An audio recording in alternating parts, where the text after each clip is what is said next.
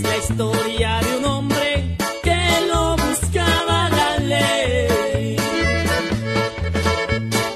Por traficar con la droga de los narcos era el rey.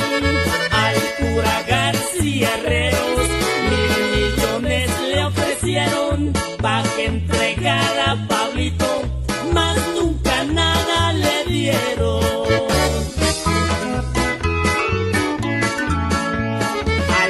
catedral de Envigado muchos millones entró. Con sus mejores amigos de la cárcel se escapó. Por tierra, aire y mar a Pablo lo perseguían. Con cien más escuadrones vive